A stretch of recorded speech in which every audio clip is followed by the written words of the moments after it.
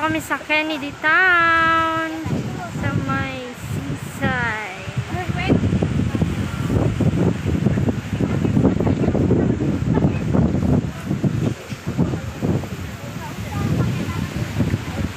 Ang ganda ng view.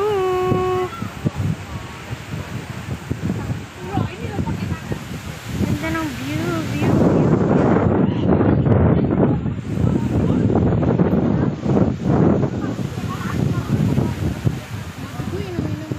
Yan, magpipiknik kami dito.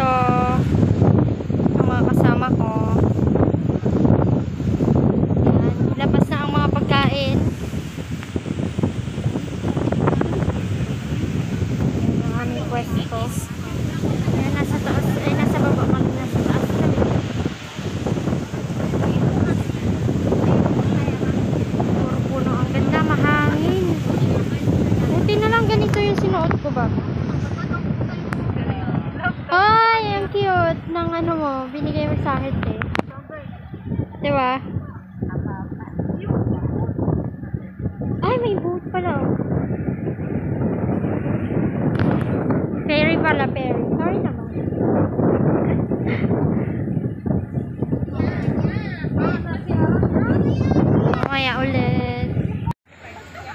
Kain na tayo guys. Ito ang aming mga pagkain. Meron kaming adobo, prinitong talong, linagang okra, and we have orange.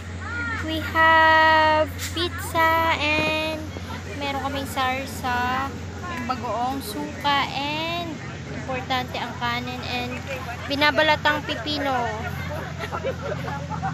Drinks. Yan. Kain na guys. And meron kaming pickles. May pinili akong pickles. Ayan. Ayan, Mga unta, mga unta.